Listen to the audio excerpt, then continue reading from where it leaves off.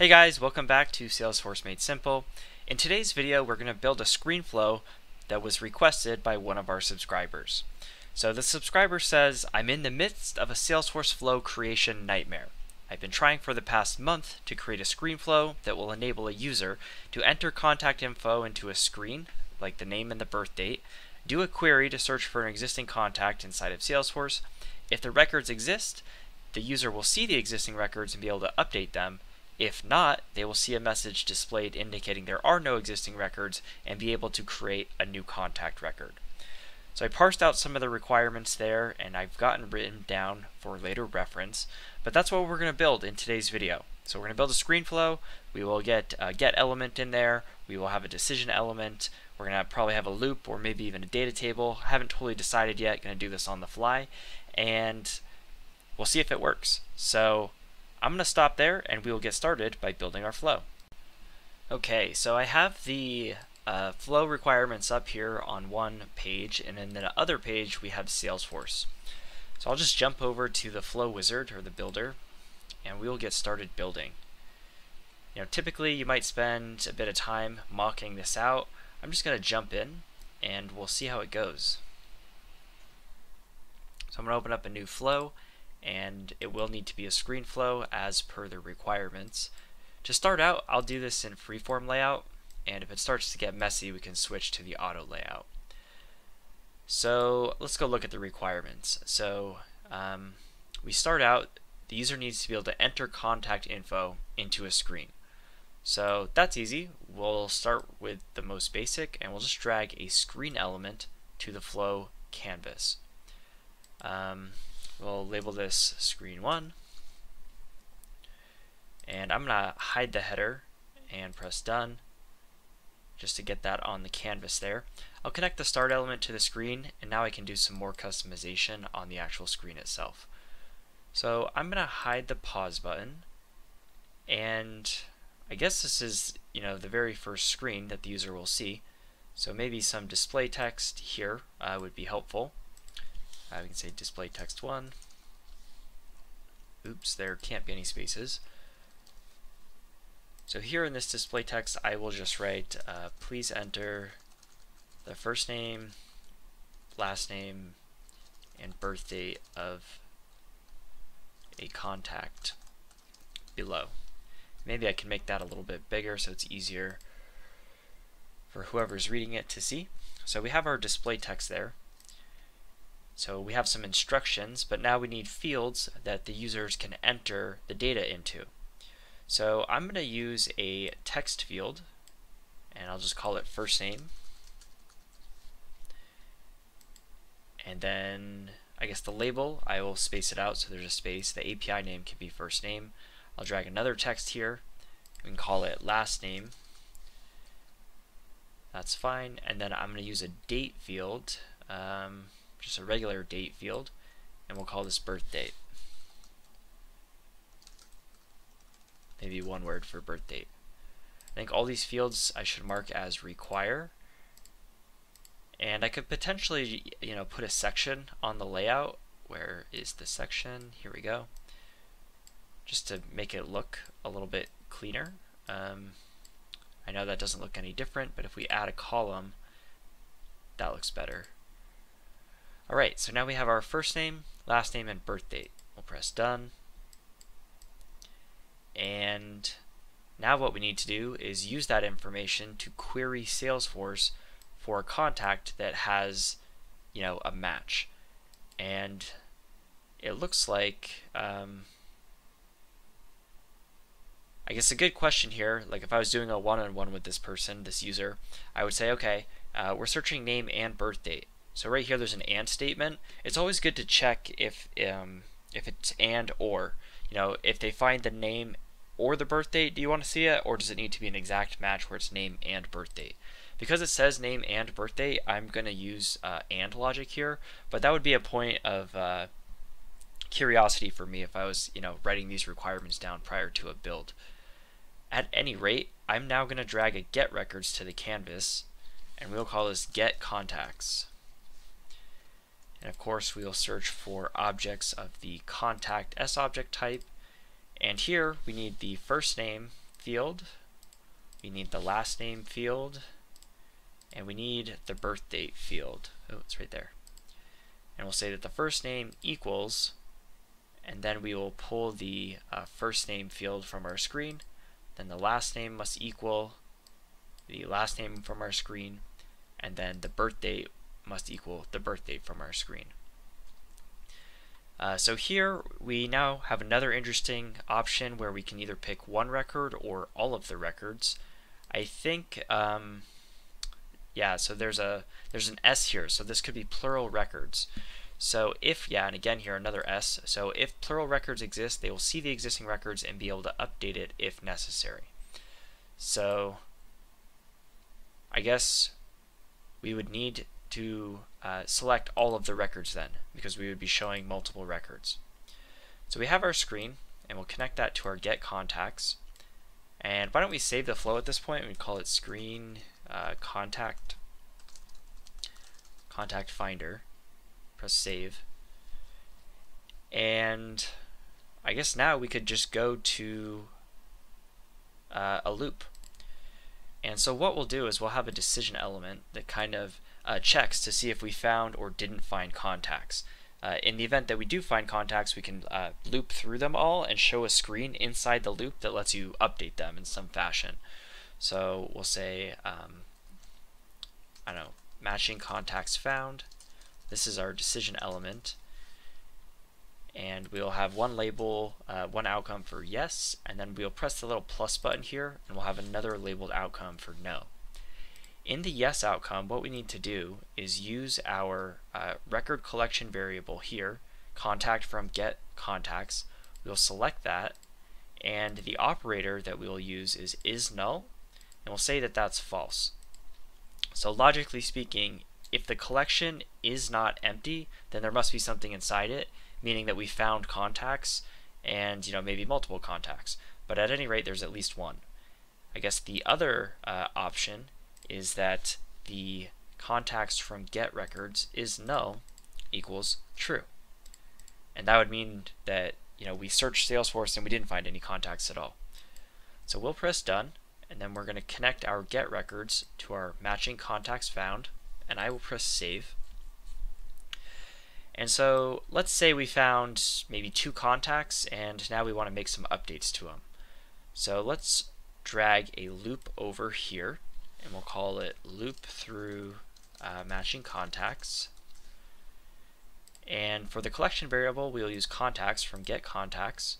If you want to specify a, a, direction that you do the loop through, like by birth date or something, you could. Uh, I'm just going to go from first item to last item. I'll connect my decision for the yes outcome to the loop. And now we're inside our loop. And so in this portion of the requirement, um, we've done our query here and if the records exist, they will see the existing records and be able to update it if necessary. So let's um, show a message by dragging a screen here and we'll hide the header. I'm not going to show the pause button. Um, and I could just call this screen 2 and we can drag some display text to the top we can call it display text 2. And what will we write here? We want to show the name, I guess first name, last name, and birthday of the contacts that we found. So I guess I could write um, we found matching contacts inside Salesforce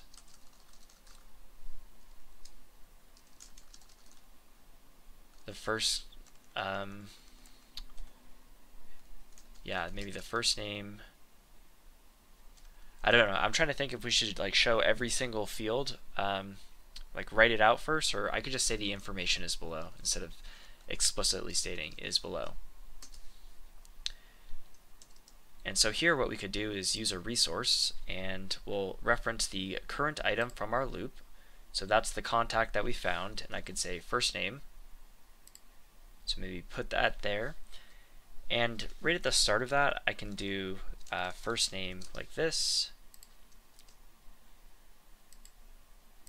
um, last name like, oops, this. I guess birth date like this. Enter another line there. And so what I'm doing here is I'm using the current item in our loop, which represents the uh, contact that we found, in order uh, to grab the field value for that uh, record and display it to the user going through the screen flow. I'm going to do this for each of the three fields, current item from the loop, and again, I will just, oops, that's not right. Current item from the loop, there we go, birth date. So you can see in this screen here in, in our display text, um, it says we found matching contacts inside Salesforce. The information is below. And this is you know the information that was found. So we'll press um, done just to get that on the canvas and press save. then I'm going to connect our loop. Uh, for each item in the connection in the collection, we do want to show that screen. And so now we have a screen here, and there's a couple different ways we could handle the updates. Um, because they want the user requested that they be able to update the existing records if necessary. So what we could do, um, again, there's a couple ways to do it, but I'm thinking that we could just show like a pick list where it's it's like, do you want to do you want to update this contact? And I don't know, maybe a pick list isn't the best way. Radio buttons might also work, um, but you know we could have a choice here for the user to say yes, yes, update is what I'll call it. The choice label will be yes, and the choice value could be like yes, update. Press done, and we'll make a separate choice here called no update choice label, which is what the end user will see, will be no, and the choice value will be a no update. So the API name is what we um, will see internally in our flow. The label is what is shown to the end user, and the value is what um, Salesforce records the choice selection as in case we need to use it in a formula. So if they select no from the pick list, the value of that choice will be uh, no update. So we'll just keep that in mind. Um, again, this is one of several ways you, you could potentially do this, but um, we'll let the user say, yes, I want to do an update, or no, I don't. And then we can, you know, bring another decision here. Uh, want to update. Contact. Um, yes, update contact. So this will be choice one. And what we'll do here is just reference that pick list um, right here. Do you want to update this contact? That will equal uh, yes update. We'll add another outcome. We'll call it no update contact. And we'll say that the uh, no update equals no update. Or wait, excuse me, the pick list. Where's the pick list? Do you want to update this contact equals no update? We'll press done. So we'll connect our screen to our decision. From here, if they don't want to update the contact, then we could just show them the next contact. So I'm going to drag uh, no update contact to the loop, and again I'll also drag the, the, default outcome back to the loop. In case there's like a bug or something, or if there's no uh, contacts at all, then we don't need to do anything. Now we need a screen to handle uh, the updates they want to make. So we could drag a screen over and hide the header, hide the pause button. And in order to do this properly, you would need to know what fields you would want your users updating. If uh, we know in advance that they maybe want to update the uh, address or something like that, we can put it on here. If they need to be able to update every field, then you would have to put every field on here there's not really a great way to um, update a field uh, like an arbitrary field like you would you would need to know in advance so we could say perhaps why don't we go look at a contact I'll go find a contact sales app and I'm just going to look for a contact that exists inside of Salesforce and Bob Apples is one that I've created in the past. And so let's say we want to update the mobile phone number. So we could drag a display text to the canvas. Uh, update, oh wait, geez. I hit all sorts of buttons on my keyboard. Display text 3, we'll call this. Um, and we'll say, please update the mobile phone number below. And then we could put in a field for the mobile. So we could do it like this. We could call it uh, mobile phone.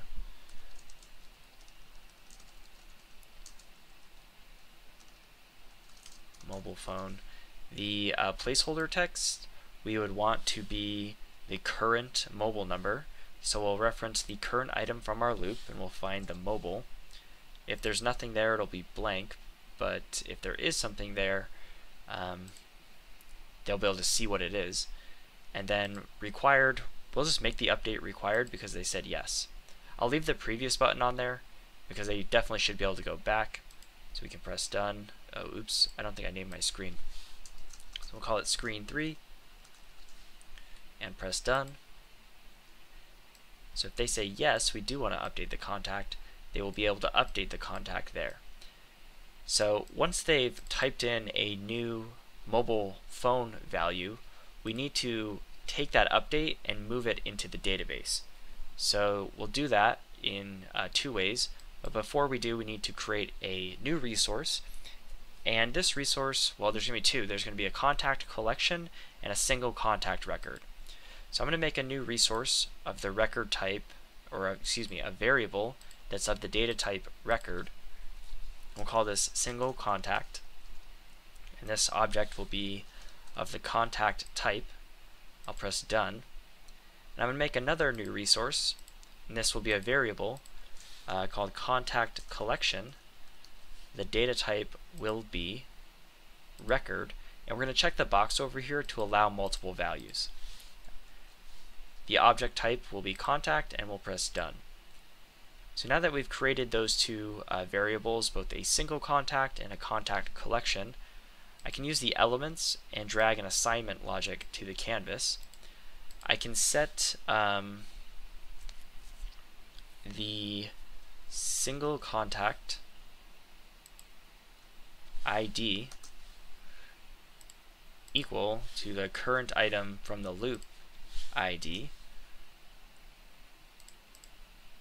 And then I can set the um, single contact mobile phone equal to the mobile phone screen component.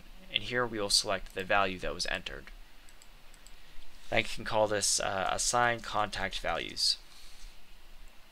Press done. Connect the screen to the first assignment and then the second assignment that we drag to the canvas will be um,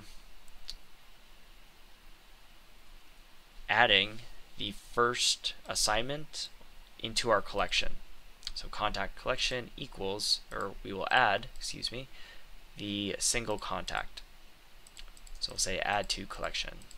Oops, add to collection. And we're going to press done.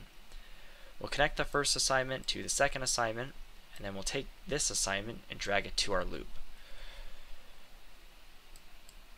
So, we can now loop through every single contact and show the end user an option to update records that they find. And maybe what we'll do is we could do a quick debug. And so I'll change the birth date of uh, Bob Apples to, I don't know, July 15th of 1995. Press save. And why don't we do a debug here and see if we can find that contact with our screen. So we'll load up the debug, press run, so the screen will kick off. Say please enter the first last name, so we'll do Bob Apples.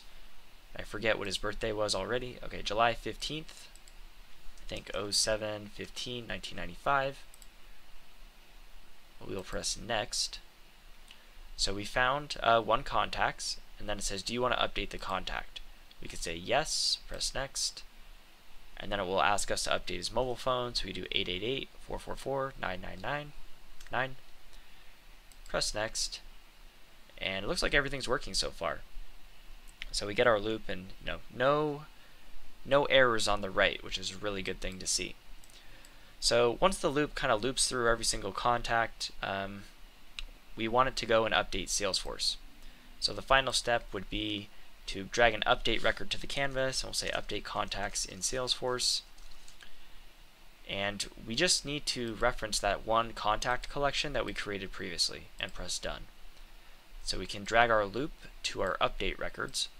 And so after the last item of the loop, we will update those records in Salesforce and press save.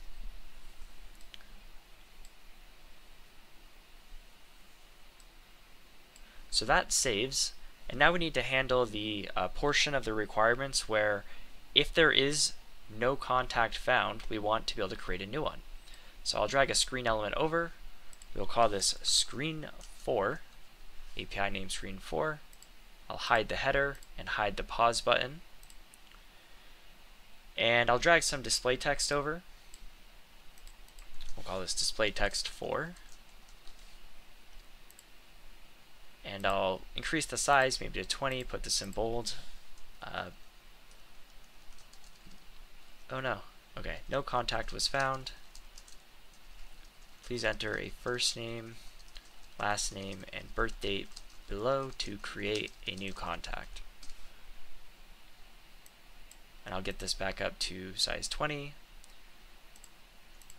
And then we can drag a, again, a text, another text, and a date field to the canvas. We'll call the first text first name. We will call the second text last name. Oh, that already exists. Last name too. and a date. Uh, we'll call it birth date. And I think that will already exist too, so we'll do birth date too. We'll require all these fields. Require them all. And is this in bold? I can't remember here. Yeah, no? Bold. There we go. Okay. So that looks good in terms of the screen, so we'll press done. We will connect our decision for matching contacts where we didn't find any matching contacts to our screen. And now that we have our um, contact information, again, we can do the exact same thing we did with our assignments here, uh, except for the new contact. So we'll do assignment. Uh, we'll say single contact. And here, our single contact assignment, we will set the first name, single contact. We will set the last name, and single contact, we will set the birth date. And again, we're just going to reference our screen component here. So we'll go and find um, Oh geez, okay, I think it's first name with a space in the second screen, and then last name 2 in the second screen, and then birth date 2 in the second screen, and press done. So we're assigning all the fields of our contact variable to match those of the screen. Pressing done, we're connecting our screen to that single contact assignment. Then we'll use another assignment to add the single contact, oh wait, uh, to select our contact collection and add our single contact. Let's call it add to collection. Geez, add to collection 2, press done. We'll drag our first assignment to our second assignment. And then the final step here would be to create records. Um, so we'll call it create new contacts. And here we're going to create uh, one new record. We'll use all values from a record. And that would be Oh wait, maybe multiple collection? Yeah. We'll do the contact. That's right, okay. So it's asking if we want to create multiple records. It's still only going to insert one because we only have one item in the collection. I guess we could skip this assignment technically because we're only making one. So I could perhaps delete that and then just connect single contact to create records. Just do one, and you know what? Now that I'm thinking about it, we might not even need this assignment element. So I know it's cool that we did this. This is a good way to bulkify things, but I think I just did that out of habit. We could really just delete that assignment and connect this screen directly to a create, create records element. Um, and so we'll just create one record, and that will be the single contact that we defined. Aha. No, it won't. Okay. So we, we could create the single contact that way, or we could use separate resources and literal values, which we'll have to do. So I can do contact, first name, last name, and birth date. So again, there's always like five different ways to do anything with a flow. so we went the roundabout way on this one, but it's no problem because in the end it will still work just fine. And we'll press done. So that's it for the flow. Um, I guess we could do an end screen too. Um, so here we could do, you know, screen 5, configure the header, remove the pause button, and this display text will just confirm to the end user that the flow is done. So drag that over. Uh, display text 5. And we'll say your uh, contact was successfully created. You can put that in big letters. Maybe put it in bold, press done. And connect our create records to screen 5. Then I'm going to drag another screen over, and this is going to be the same thing, but just for um, the multiple contacts that we're updating. So let's drag, well, we'll call this screen 6, and we can drag a display text over, call it display text 6, and we'll say your contacts have been updated. Put that in bold, make it size 20, press done. Connect our update records to our screen and save. So we haven't done any really, I mean we did some basic debugging, but why don't we um, activate this flow and then we'll start testing it a couple times just to make sure it works. So I'm going to go to the home page here and I'm going to add this flow to the home page. So I clicked on home, I'm going to click edit page and I'm just going to look for the flow component on the left here in the components. We'll just drag that over. And then in the flow component, I will select the flow we just built. So screen, I have a couple flows. Yeah, it's called contact finder, and we'll just select that there. Layout, one column is fine. We'll press save. Oh, I need to activate this. Okay, activate it. Just assign it as the org default, press save. Okay, save it again, just make sure. Alright, so there's our flow. And we need to enter our first name, last name, and something else. So we'll do Bob Apples, and I think it was 715 1995. So right now, Bob Apples, that is his birthday, uh, and his mobile is blank. So we'll do next. So it says we found matching contacts. Do you want to update the contact? You can say no and see what happens. It says your contacts have been updated. So, you know, that could be a bug with the screen, or you could consider that a bug where if they say no, then it says uh, your contacts have been updated. So, I mean, you could put an if statement there. That's not the end of the world in terms of functionality, though. So, I guess one bug is coming back to update this text. But let's try it again. So we'll refresh. We'll do, we'll do the same contact, Bob Apples, 0715 1995. Press next. And let's say we do want to update it. So we'll say yes, press next. And then we can put in the mobile. So let's do 444 555 888 8. Next. It says your contacts have been updated. Okay, cool. So let's refresh this screen. And we should see an update here to the mobile. And we do. So that's updated. So let's delete out the mobile here. And we'll do one more test where there are two contacts named Bob Apple with the same birthday in the system. So let me find another contact. Okay, Tina Apples. We'll change this to Bob so that they have the exact same name. And we'll give it um, the same birthday. So 715, oops, I typed in 815, 1995. Press save. There we go. And we could refresh this page. So we'll say Bob Apples, birth date uh, 7 15 1995. Next. It says we found a matching contact. And yes, we want to update this one. So next. Mobile will do 888 444 5555. Next. And it takes us to our next contact. We'll say yes, we want to update that one too.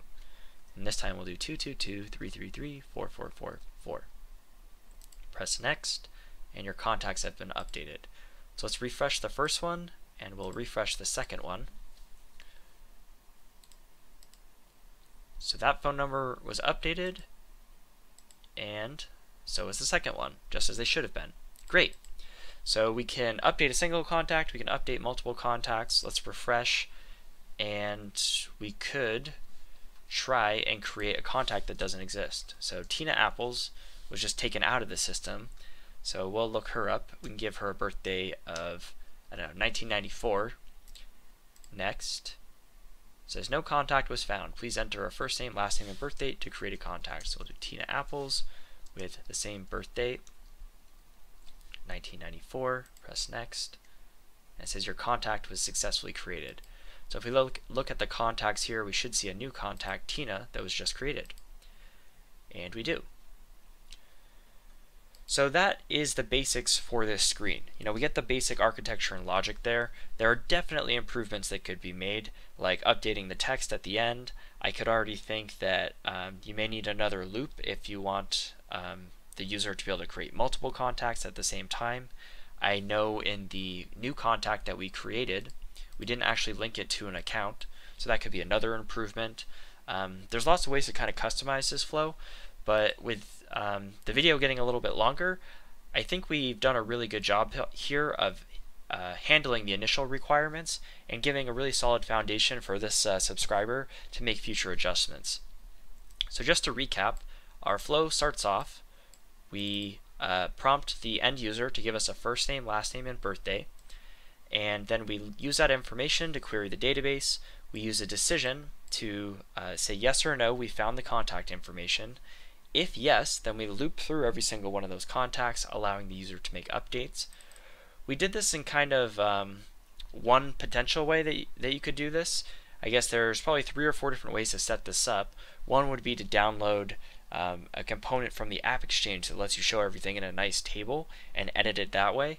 But if you you know don't want to download something from the App Exchange, I figured I would just show you what the basic tools in Salesforce could do.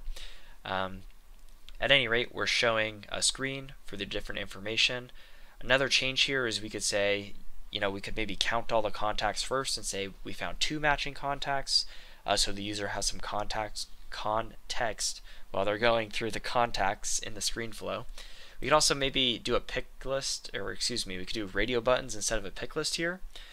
But at any rate, you know, our users are able to see the contact information, decide yes or no if they want to make an update, and then the loop proceeds, and then um, after the loop finishes, it updates those records in Salesforce and shows a completion screen.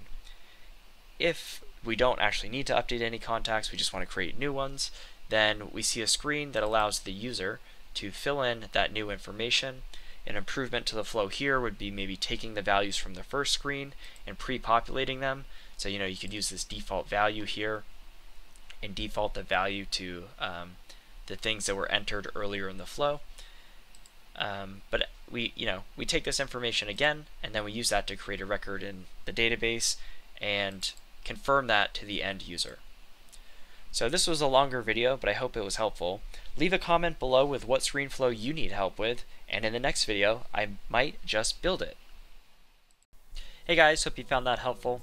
Make sure to like the video, and again, feel free to leave me a comment with what flow you want me to build next. If you haven't already, subscribe so you can get more content just like this. If you're interested in learning more about Salesforce flows, check out my course on Udemy. It has over 9 hours of in-depth Salesforce Flow tutorials, even better than the one we just built. For a limited time, the course is 30% off using the link in the description. This coupon is going to expire 30 days from today, so don't wait, go to Udemy and enroll right now. With that said, have a great day.